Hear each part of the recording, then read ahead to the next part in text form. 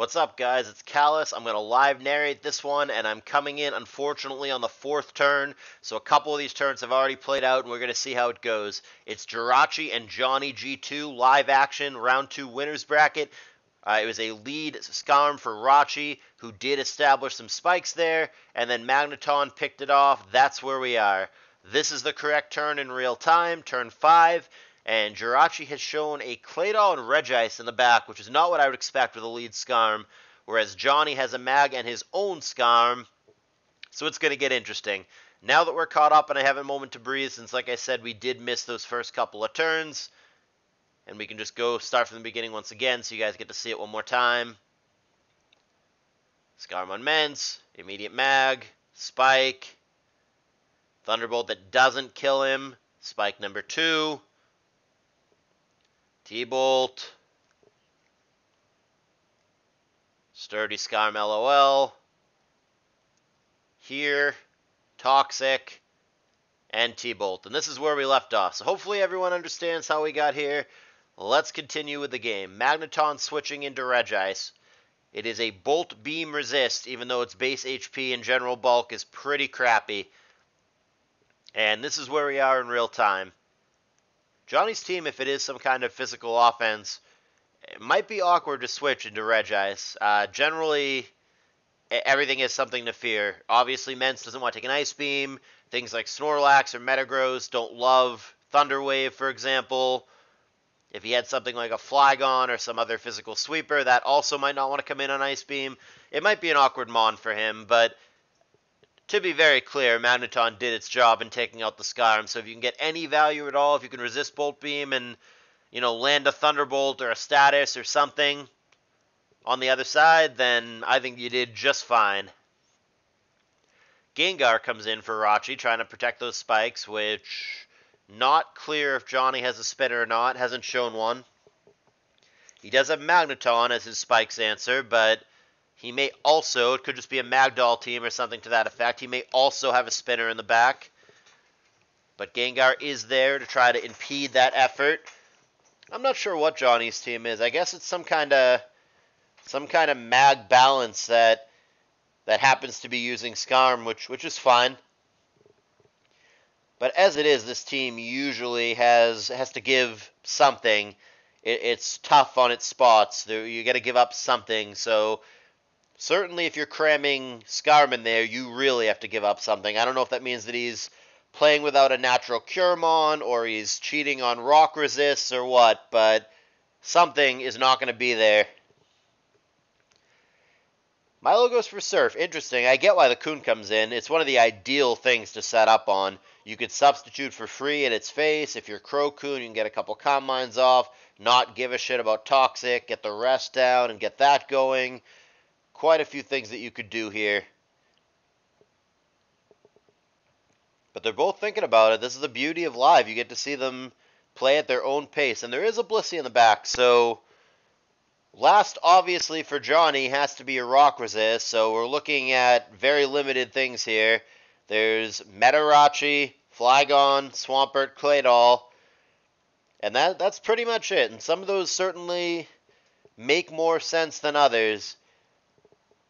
And if it were something like Metagross, you would really be you would really be cheating. It's not exactly a full wall for, you know, something like a DD tar or what have you. So I think whatever it is, eh, same thing. Like Jirachi is not really going to stop the things that are spamming rock attacks, such as a DD tar. So whatever it is probably has to be a little bit closer to a proper rock resist. And there's a big full para there. Can he get another? Yep, that's why we saw lame my bad from Johnny. Those are two bad full pairs in a row for Rachi. I mean, you got to take those, obviously, but very relevant there. Coon, if it gets rest off, is good to go. And Coon looks really threatening in this matchup, by the way.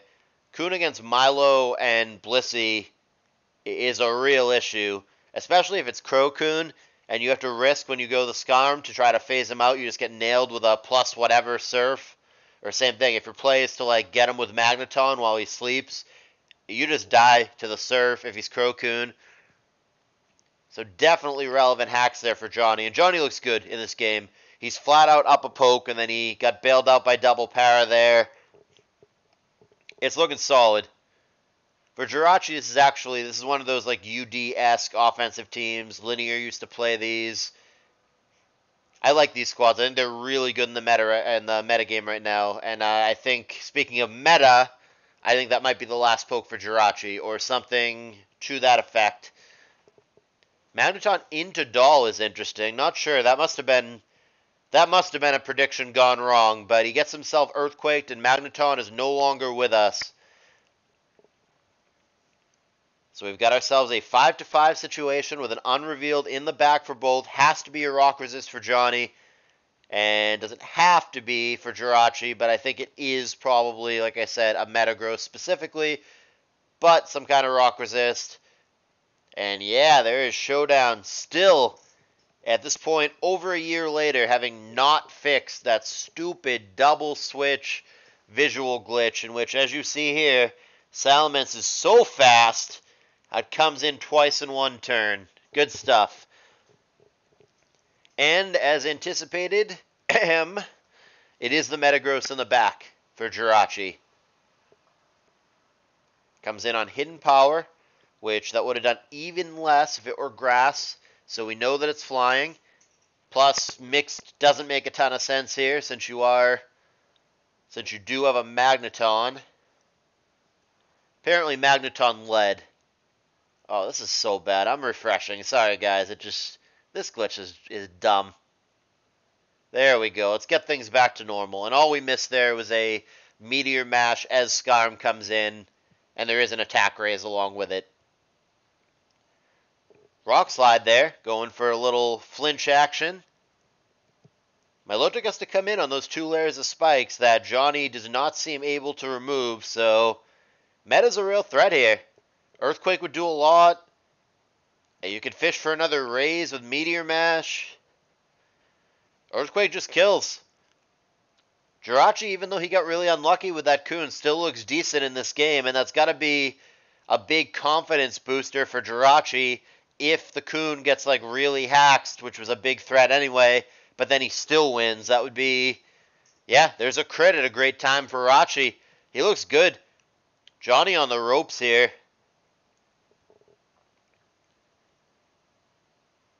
Meta seems like a real issue. Yeah, he's going to go to Mence now, which is not going to like plus one Meteor Mashes, so I don't know if we're going to try to dodge a mash or if we're going to try to crit an Earthquake here, but Johnny's going to need some amount of luck here, or he's just going to lose to the meta, apparently.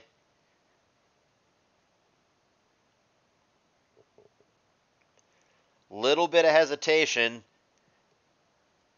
And he doubles back. Wow, what a conservative play for Jirachi. I don't know if I like that or not. I, I certainly applaud more discipline than I could ever have.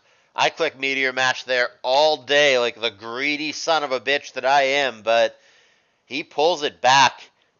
He knows that the meta can just set up and just win later. He makes the conservative play, pulls it back, blows in the nurse's face. Ugh. Blissey, I've been waiting for so long. Ugh. Ugh. Ugh. Oh, it feels so good. Unloads on the nurse's face. And as it turns out, the last poke for both players was Metagross. Johnny cheating a little bit, like I said, on physical resistance.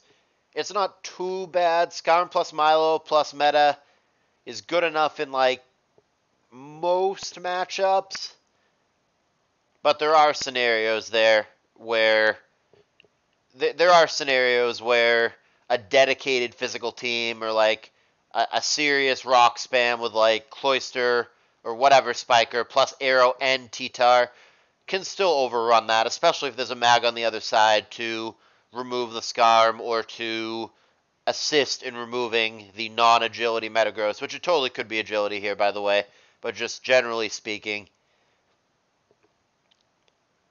Johnny's going to need to get there with the meta to win, and he could. If it's agility meta, you agility here, you lum away status, you Well, he doesn't even. He, he's got lefties, not lums. So I guess Gengar's a real issue here.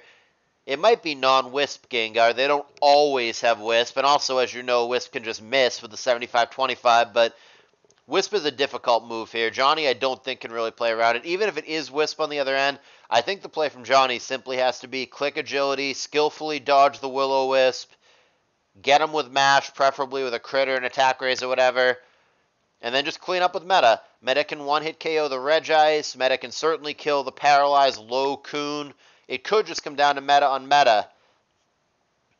He might not have Will-O-Wisp. He fire punches there. But it's anticlimactic because Jirachi, even though he doesn't have Will-O-Wisp, Johnny doesn't seem to have agility, and he would have needed it there. The miss is going to pretty much seal his fate. He's saying GG, but it might be premature. That last fire punch did 46%. And he's at 50. He's not guaranteed to kill with a fire punch here. I wouldn't GG just yet. Not at all. Johnny could survive here, kill him with Meteor Mash, get an attack raise. He would outspeed and one hit KO the Regice. He would certainly kill the Coon when it's paralyzed. You just outspeed it and click Earthquake. And then, yeah, then you just have to crit the Metagross on the other side. Stranger things have absolutely happened here. You've got to mash again if you're Johnny here. You need the attack raise. That's wrong. Earthquake is incorrect there. You have to mash. You need an attack raise to win. And it's actually agility meta from Jirachi here. I don't think this late game has been played perfectly. I, uh, Johnny could just be trying to get there with crits, but I think without the raise, even a crit earthquake on the meta on the other side is not guaranteed to kill, depending on the EVs and what kind of meta it is. We now know that it's a Gila meta, so maybe it isn't the bulkiest or doesn't have protect or whatever, but we hadn't known that previously. Interesting late game. I'm surprised that there was a GG from Johnny. It felt too early. Here's GG again. Might be over this time. And by might, I mean 100%. But the first GG was premature. Alright, that was an interesting one. There were a lot of hacks in that game, both ways, but Jirachi's got to feel good about that one. He's apologizing about the luck, but I don't know, easy to forget, or maybe he's just being polite, but there was certainly some bad luck the other way as well. Like I said, the Coon was a big threat for Jirachi, and Johnny only dealt with it because of the double para didn't feel like that game was determined solely by luck or like Jirachi hacks the crap out of Johnny to get this win. That's certainly not the way that I view this game. But that was only game one. We are waiting on game two and potentially game three. The beauty of live is they could play in 10 seconds or they could play in 10 minutes. Isn't that fun?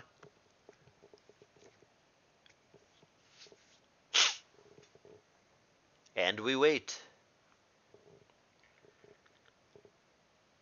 I have no clue what either of these guys. I'm not involved in any way in either of these guys' prep. I have no clue what either one is going to bring.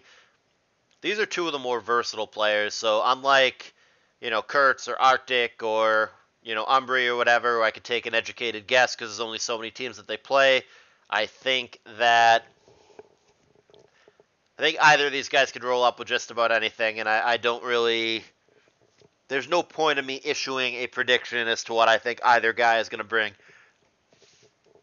But an interesting thing to note, and I don't have the usage, the usage statistics pulled up right in front of me, but Regice has some like absurd win rate right now. It's like 10 out of 11 or 11 out of 12 or something bananas. The thing just keeps fucking winning.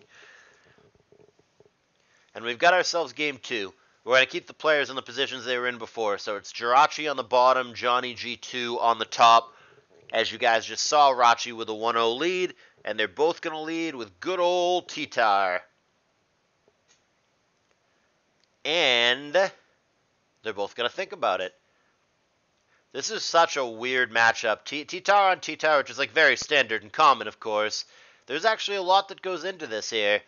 You have to consider choice band from either one. You have to consider non-choice banded brick break. You have to consider that either one could switch to Scarm. You have to consider that either one could switch to a bulky water. You have to consider that one of them switches to Zap, playing around things like brick break or fire blast. Eh, there's a lot of mind game stuff, and there is no definitive correct play. Not only should you be switching it up to keep your opponents on your toes and not be scoutable, but depending on the rest of your team, the correct play can very much vary. Uh, know what's a really good play though in this matchup when you have a choice band brick break and you insta kill the other guy's T-Tar on turn one.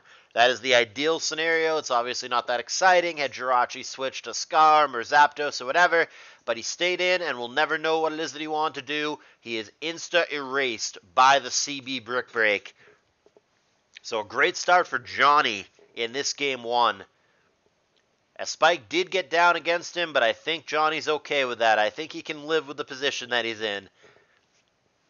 Skarm comes back now, and it eats a fire punch. This actually might be some kind of CM spam for Johnny, believe it or not. Doesn't have to be, but I, I just have a little inkling, given what's been shown so far. Fire Punch is going to get a burn. That helps, so really off to a good start, Mr. Johnny G2. And Jirachi seems very much on the defensive. And if it's one of those teams where he's opting for Celebi as his special wall rather than Blissey, which I'm not saying is bad or wrong or whatever, it's the right play on certain teams. Uh, but if that's what we're looking at here versus what might be a CM spam for Johnny, then Jirachi might be in for a bad day. Celebi can get overrun pretty quickly if there's three Calm Minders or what have you on Johnny's squad.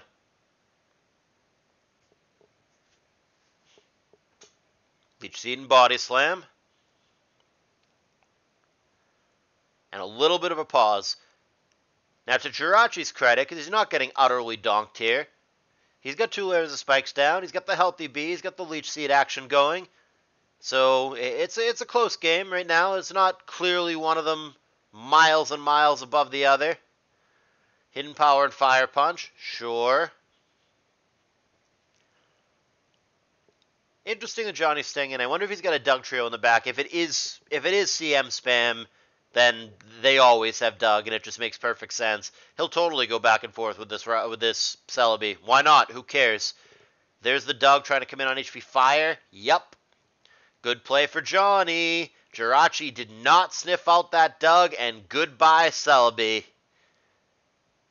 Come on. Come on, Rachi. If I know that there's a Doug in the back, if I sense it, you gotta sense it, you fucking noob cakes. But yeah, not going for Giga Drain there, or recover, or switching is a rough break. HP Fire there is like only the right play if you think he stays in with Jirachi, which is not even that exciting because even then, if he had a Dugtrio follow up, you would still die. I don't think HP Fire is right there. I think there's not a lot of upside and I think Jirachi gets punished for his mistake. It does look like something to the effect of a CM spam.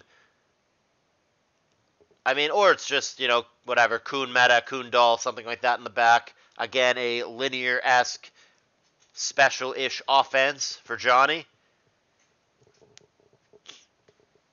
And Rachi thinking over what to do. This game is not lost for him. He's got some low stuff on the other side. The Dugtrio's not in great shape. The Jirachi's not in great shape. There are two layers of spikes down. Certainly, if Jirachi has something like an Aerodactyl in the back, that could be Uh, a real menace for Johnny. It's not over. But Jirachi knows that he's behind. So he goes to Skarm. Are we going to set a third layer here? Does not seem like Johnny would have a spinner here. He could have a doll, but he probably doesn't have a spinner. But he could have a doll. And still, even after going Skarm, there's a bit of a pause here. I'm not sure. It'll show us in a sec which player we're waiting for here. Is, is Jirachi debating between layer number three versus simply clicking Roar here? which is a fair question. Zapdos comes in, so that'll that'll all but confirm that there's that there's not a clay at all here. It's just gonna be it's gonna be like last Coon probably. And there's layer number three. Zapdos should scare away the Skarm here. Oh, interesting. I thought if he was going to stay, he was going to roar there. I thought you would stay to prevent like a substitute or something, but I'm not sure what he was anticipating there. I guess he thought he was going to BP to something and he just wanted to drill peck it. It's a weird drill peck. But yeah, he drill pecks into an agility, which is real awkward. That's obviously not what he was going for. And certainly this one looks pretty fucked at this point. Johnny, very, very likely sending us to game three. I don't know what that drill peck was anticipating. Like I said, I don't mind the stay, which takes balls to do. But if you're gonna stay, you've gotta you gotta roar there. Man, with a critter and EQ, he could have gotten him there, but Fast Rachi now is gonna get a, a chance to burn the Metagross. However, he's not going to be able to kill him with Fire Punch, even with a crit, so the only thing that he really has to worry about is the burn. There's Doug, that'll certainly be able to get him from 72%. Well, Protect will make it interesting, and Protect is also almost exclusively on bulky Gross. So yeah, he can he can survive that, just barely.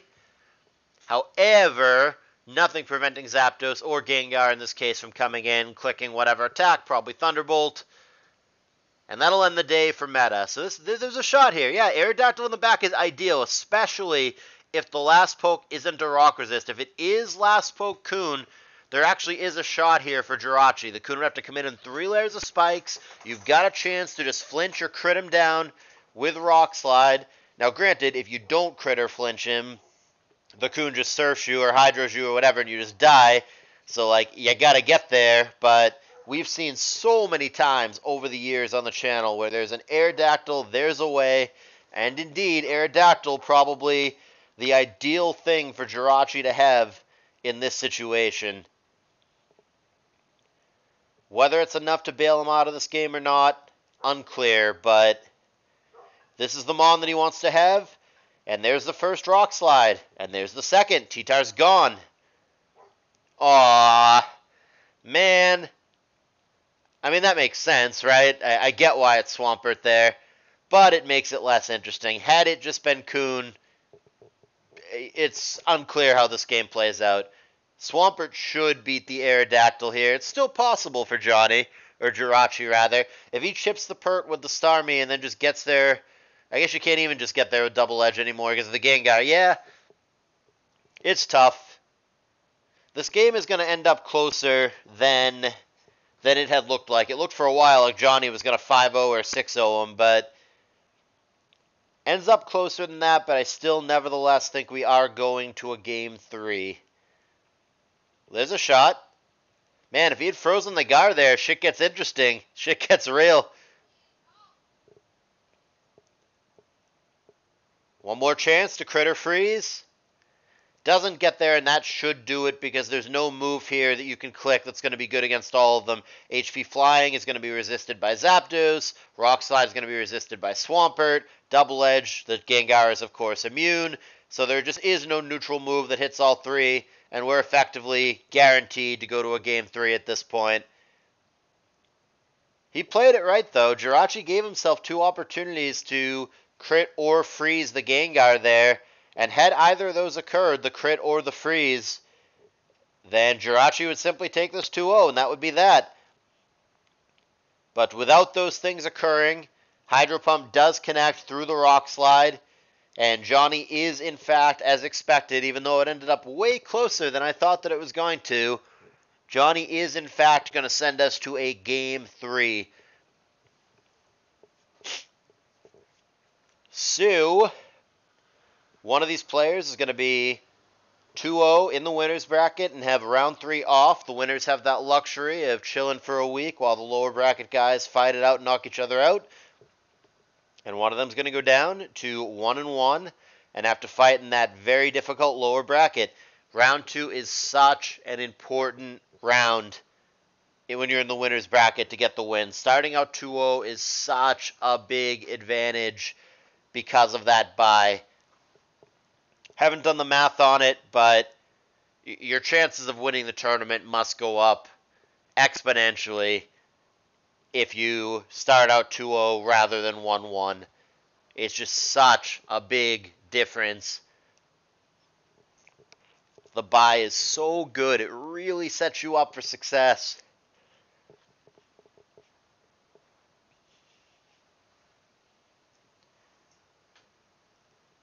All right, well, while we wait, let's take a look at the teams. Neither one has really brought anything too, too stally up to this point. It's been. I mean, everybody labels teams differently. I get yelled at all the time, and I say so and so plays stall, and they go, "Oh, that's not stall. It's it's balance," or vice versa. I go, "Oh, that's that's an that's an offensive team. Oh, it's got Blissey. It can't be an offensive team. I mean, everyone labels things differently, but from my point of view, this is like an offensive leaning balance. Uh, this is a a balance, maybe a defensive leaning balance. I would call this a balance, and I would call this a balance. I mean call me lame, call me too too narrow, but or too broad rather. But I, I think basically all four teams have been somewhere in the vicinity of a balance. Maybe some of them lean a little more aggro, some of them lean a little more defensive, but neither one has brought what I would label as hyper offense or full proper stall. And I'm not sure where that leaves us for game three. I doubt anything that's happened so far has caused either one to like reevaluate and go, eh, maybe I should bring something else in game three. Like, if there had been, you know, two games up to this point where, like, in both games, Gyarados just sweeps the crap out of the other guy, then that might get in my head and go, all right, I, I really need to bring Zapdos. I really need to bring something that doesn't lose to Gyara in the third game. This can't happen again. But I think that nothing that's happened so far should affect the decisions from either guy. Let's find out. Not too much of a delay. Here's the third and presumably final game between Jirachi and Johnny G2, fighting for that so important, so helpful spot in the winner's bracket 2 0 with the bye in round three as they watch other people eliminate themselves. Johnny's team already pretty clear some kind of Superman squad leading Molt. Gonna be Skarmory, a Ghost, and Skarmory, Ghost, T-Tar in the back, or Skarmory, Ghost. There might not even be a special wall, or there might not be a Ghost. It could be, or there might not be a Titar. It's, it's three of those four. It's gonna be Skarmory, Ghost, Special Wall, T-Tar for Johnny. Three of those four, whichever one he decides he can live without the most in the back for Johnny. For Jirachi, you know what? It's much less clear. A lead Zapdos could be just about fucking anything. And a rest does get off for the Zapdos of Johnny G2. Who do you guys think is going to win this series? Let me just get on my phone and take a quick peek at the predictions. Let's see. What did you guys think? Oh, man, not even close. 53 votes versus 13 votes. You guys overwhelmingly think that Johnny's going to win this series. Maybe not like that. This Duck Dugtrio, if he's not immediately crit or frozen, is going to remove Blissey. No crit, no freeze. Blissey is out of here. Very good start for Jirachi in this game three. Johnny gets himself Zapdugged. And there's the Scarm and the special wall that we discussed. So it is simply going to be Last Poke Tar or Last Poke Ghost. And I say Ghost because up until a year at most ago, Ghost just meant Gengar. It was just a code word for Gengar. Everything else was extinct. But there is a niche, and it doesn't happen super often, but sometimes Misdreavus these days is used in ADV and it is bulkier than Gengar. It's none of that stuff. All right, that was not what I was expecting it to be. It's none of the things. It's not a T-Tar. It's not a Ghost. Kind of surprised that it's meta.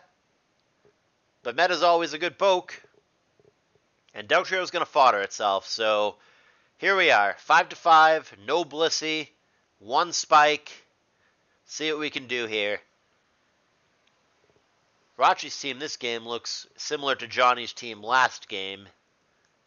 Not that this archetype is patented by anybody or something that everybody doesn't have. Just standard-ish ADV stuff. Meta is gaining lefties, so no Pinchberry or Lum or Funny Business or what have you. Cune, of course, is faster. You see it getting those lefties first. And there is CM and Earthquake, which is 35% unboosted. So this is some kind of offensive Cune for sure. Surf does a lot. I don't know. I'm surprised. I mean, Johnny must know that he wasn't gonna. I'm surprised that he didn't just explode on it, but he might have been afraid of exploding into a bad target. He's banking here that the Moltres is faster, which it's going to be in the overwhelming majority of cases, and it's confirmed here by the sand that it is faster, so he feels comfortable that he can just come in, outspeed it, HP grass it down, and all is good.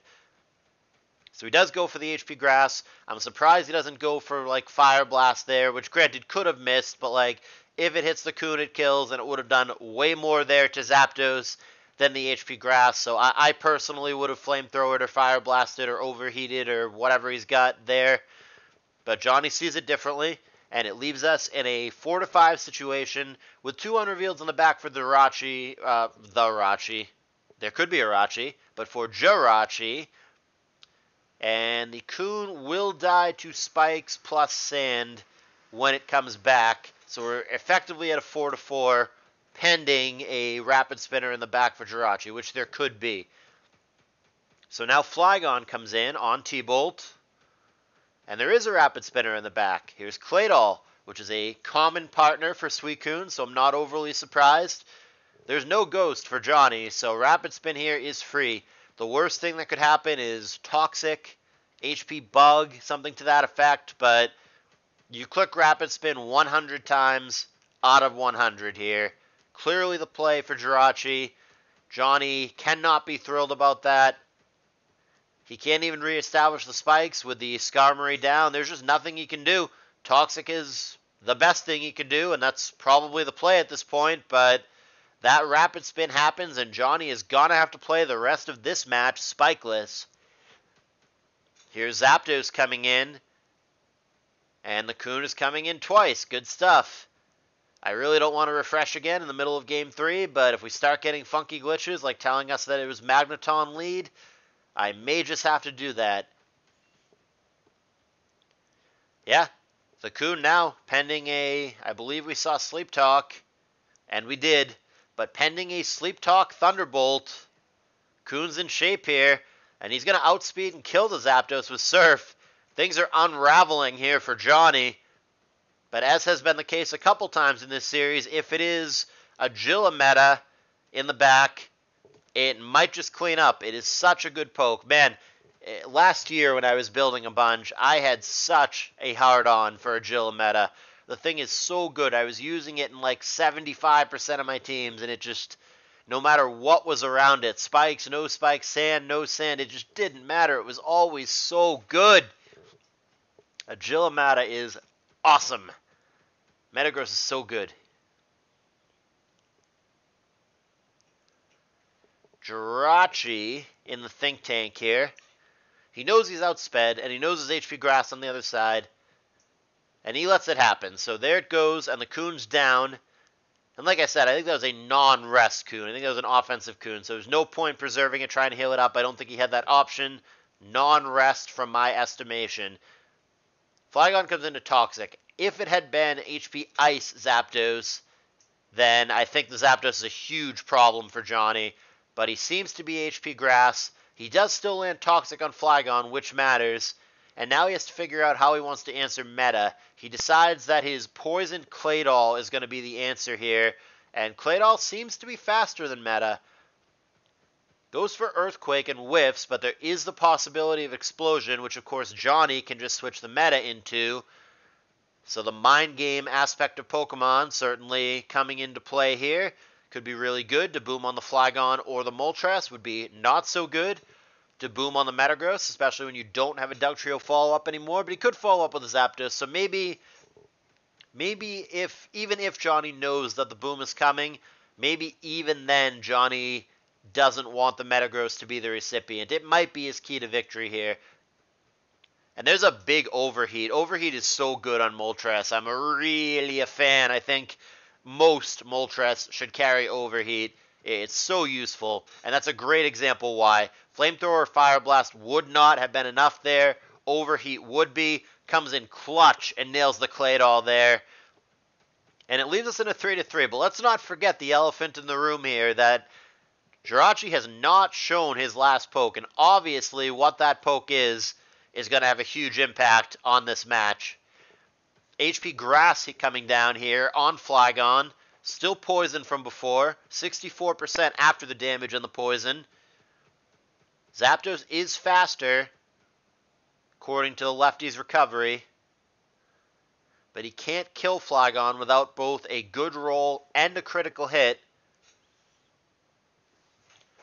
Checking in on the T-Tar here. It's at 88%. Has shown only Rock Slide and not lefties.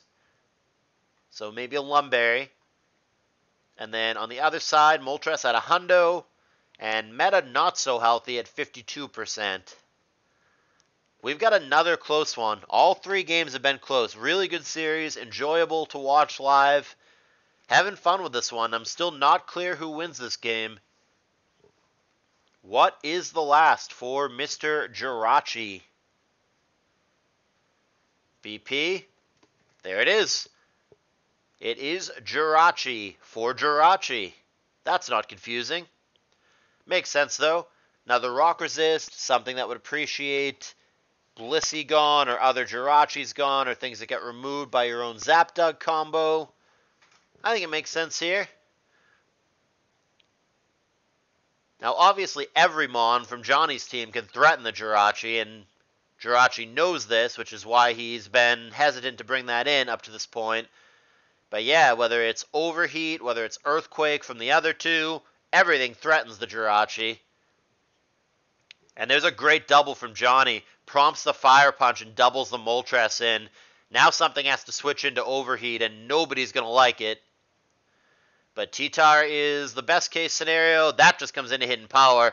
Moltres might get there. Moltres might win the day for Johnny. There does not appear to be good switch ins. Johnny can threaten it offensively, but uh, nothing wants to come into it defensively. Zapdos can scare it away, but every time Moltres sneaks in, it just it fires off attacks that Jirachi doesn't have a good answer for. That being said, something's going to have to give on this turn as well. Moltres would not survive Thunderbolt. Metagross would not survive two Thunderbolts. And then obviously Flygon would survive a Thunderbolt, but he'd have to come in while poisoned. He could eat a hidden power plus one turn of poison, so there is that. But obviously, if he goes to Flygon, gets out predicted, and eats a hidden power, then it's not so hot. But Johnny makes the play anyway. Got to do what you got to do.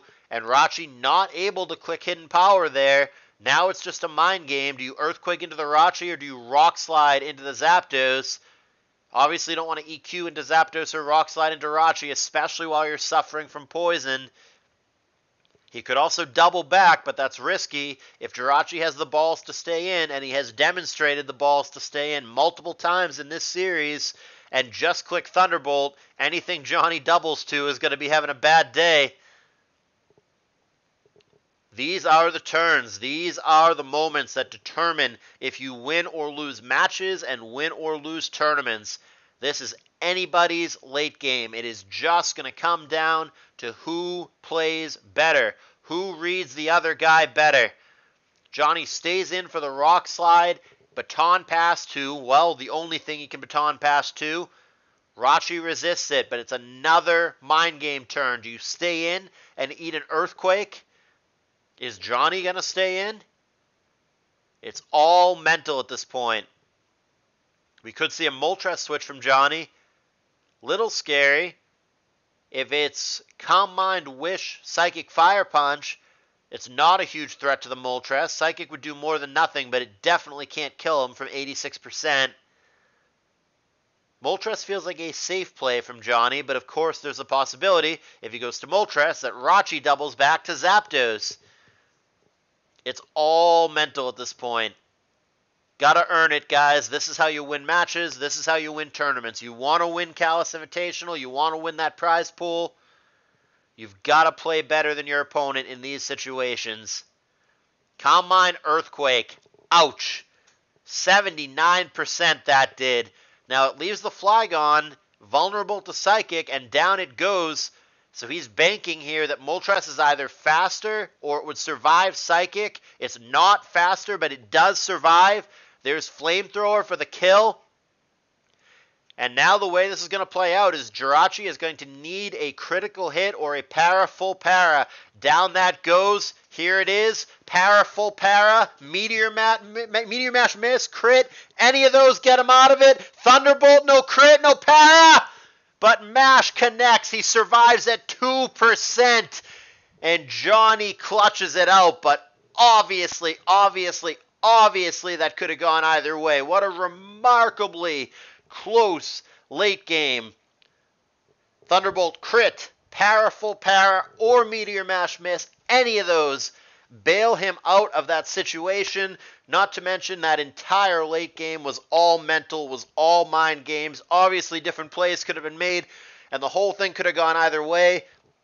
This game three was fantastic, one of the best and closest games of the tournaments, of the tournament to cap off what was, as a whole, an exciting, very close series, one of the best of the tournament so far. But what you guys predicted has come to pass. Johnny G2 barely gets the victory over Jirachi. He's 2 0. He's in the winner's bracket. He's got the bye next round. And Jirachi, who's looked really good all tournament long, is going to go down to that lower bracket. What a great set this was, especially the third game. Really tight late game. Really enjoyed this one, especially live. And I hope you guys did as well. Good sportsmanship from both. Two really good guys that I'm fond of. Hope you enjoyed it. Lots more to come. Hit that like button if you haven't already. See you guys in the next battle.